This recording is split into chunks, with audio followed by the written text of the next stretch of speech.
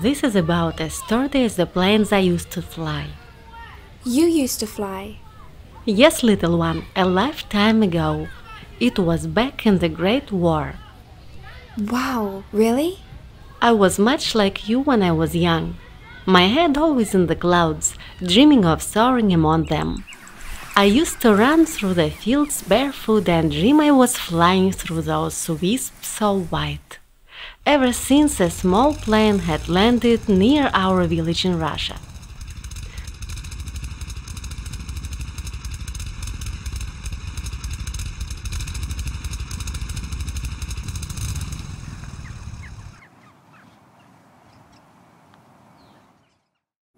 When I was 15, I even learned gliding without telling my parents. Not that that is a good thing, keeping secrets from your parents. But I was so headstrong, I wanted to learn so bad. I had to do whatever it took. Were your parents mad? Of course they were. A young lady going off to learn to fly was unheard of. A young lady was supposed to find a husband and have children. Ugh. Yes, that is how I felt as well. I didn't give up. By the time I was 16, I had flown solo and even made my first parachute jump. That must have been very scary. Yes, it was, but I was determined. It was all I dreamed of. I had been rejected to begin with, but I kept at it. You should never give up a dream. What happened after you did learn how to fly?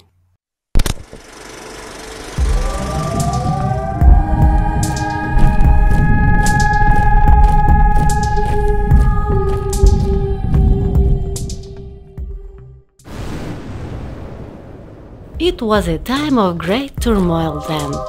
The Germans had been invading countries in Eurasia and Russia was no exception. So I did what any good Russian would do.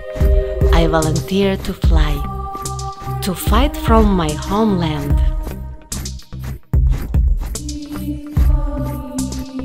You see, my brother had been killed, my home captured. I did what I had to do. It was not easy, but I was not alone. There were many women who felt the same way, and our men were already fighting. But it was not enough. Of course, the men did not see it the same way.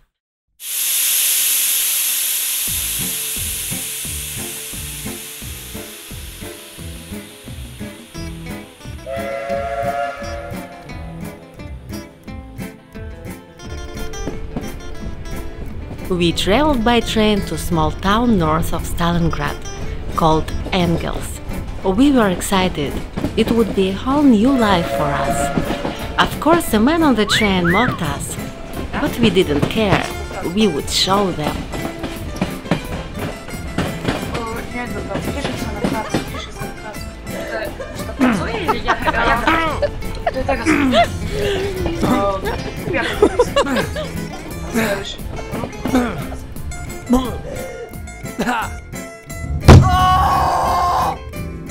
It only got worse when we arrived and they cut our hair.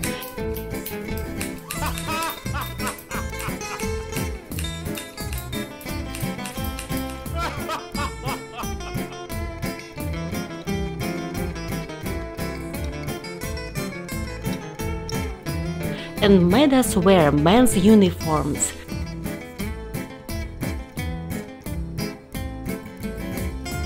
And those shoes. They were huge, like, um, how do you say, the funny ones with the makeup and big shoes. Clowns? Yes, that is it, clowns. They were more of a hazard to us than the enemy.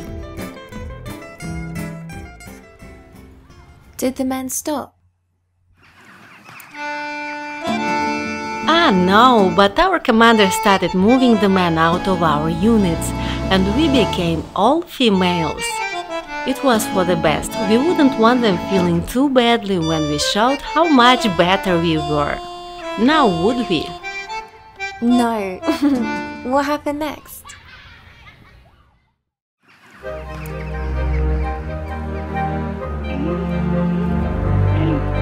Well, we trained and trained and trained.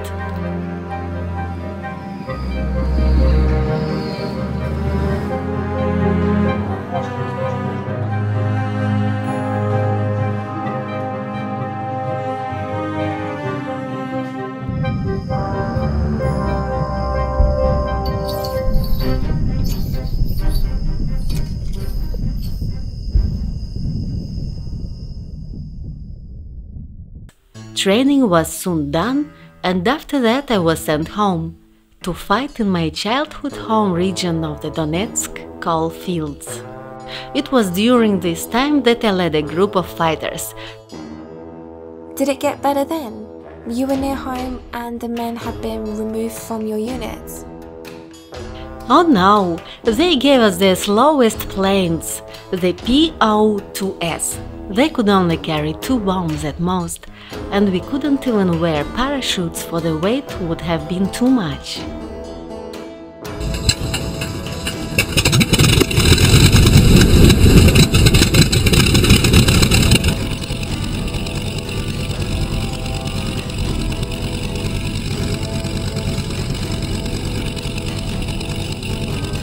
We were tested day in and day out.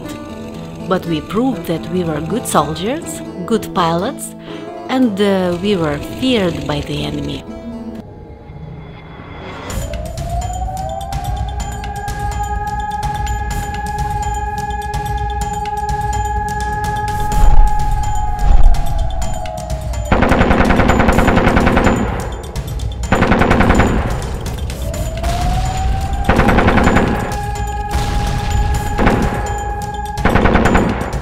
You see, our planes were so slow that the enemy planes would stall out at our speeds. But we used that. We would make our planes dance through the skies, and we would fly under the cover of darkness.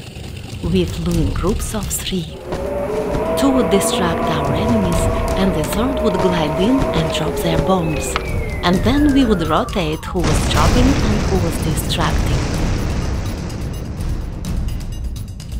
The men did not last as long as we did. They flew fewer missions and were released from their obligations sooner. But our women flew over 23,000 sorties and we lost 30 pilots. Our planes were only made of canvas and plywood, about as flimsy as this toy of yours. When we would glide in, the wind would howl and knock through the wires and wood of the planes, making it sound like brooms clashing.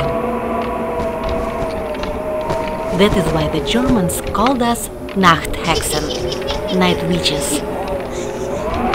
They were so afraid of us that anyone who was able to shoot one of our planes down was given the Iron Cross. Wow, did they? Were the men feared as much?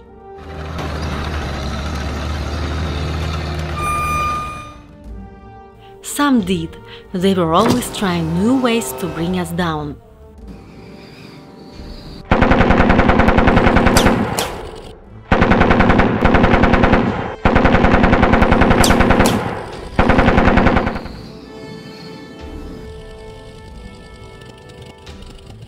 One particular flight, I actually had 42 bullet holes in my plane and person, but it did not stop us. Were you ever shot down? Yes, I was.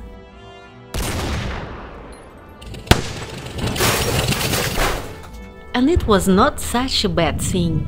I had crashed landed in northern Caucasus, where I managed to join up with a retreating Soviet Union column.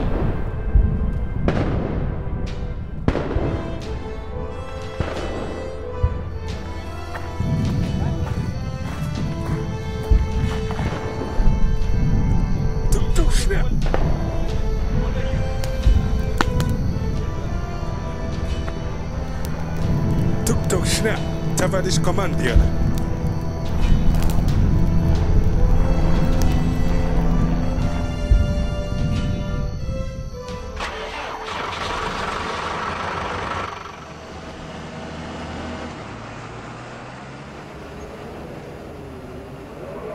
there was a blizzard.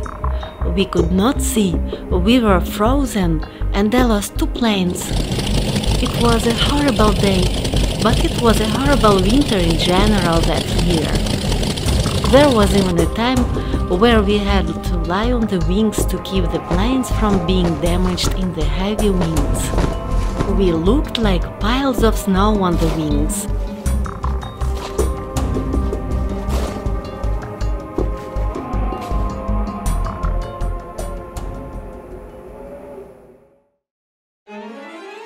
There was an injured pilot. His head was covered in bandages. But he made me laugh. He kept my spirits up even though he was injured. I did not forget him through the war and managed to find him again and again. My Simeon. We were married and never parted again until he went home. Home? Yes, he died in 1990, but he is home, flying in the skies again. I see him from time to time in the clouds. I think I will join him and my comrades soon. That is sad. I have done my part for this world and I long to see them again. Besides, it is your time now. Go and have your adventures and remember, never regret. I will. Thank you for telling me your stories.